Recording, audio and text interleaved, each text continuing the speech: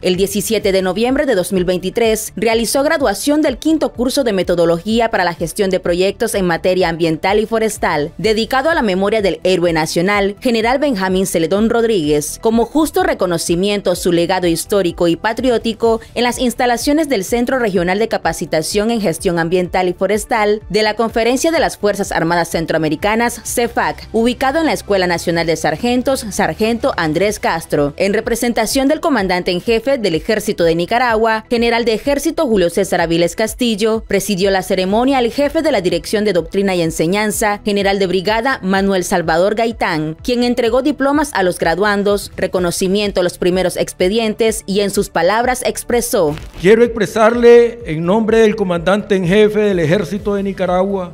general de Ejército Julio César Avilés Castillo, su siempre saludo patriótico y sus felicitaciones por haber concluido exitosamente el quinto curso de metodología para la gestión de proyectos en materia ambiental y forestal. Este curso es parte de la visión institucional de la que se ha expresado el alto mando, que los recursos naturales son de orden estratégico. Es por eso que su protección es la misión asumida por la institución militar.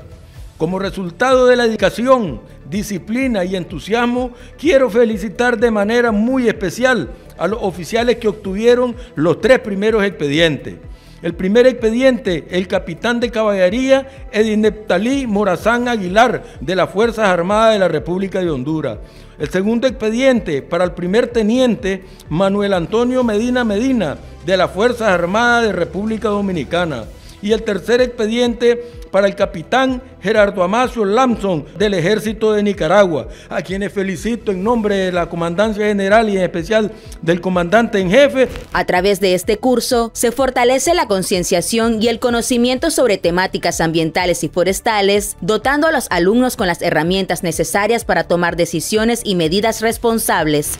Primeramente, darle gracias al alto mando de la CEFAC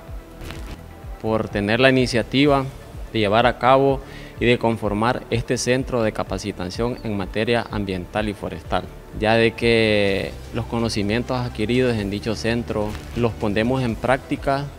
en nuestro pueblo, en nuestro país. Esto es un curso muy importante ya que nosotros como pertenecemos al Servicio Nacional de Protección Ambiental SEMPE en República Dominicana, trabajamos 24/7 combatiendo los delitos ambientales. En este curso tuvimos mucha capacitación, mucho entendimiento, mucho aprendizaje. La ventaja del curso es aprender a cuidar nuestro ambiente y en nuestra vida militar porque nosotros lo ponemos en práctica en nuestros países. Asimismo cuidamos nuestro planeta y mantenemos limpio nuestro medio ambiente.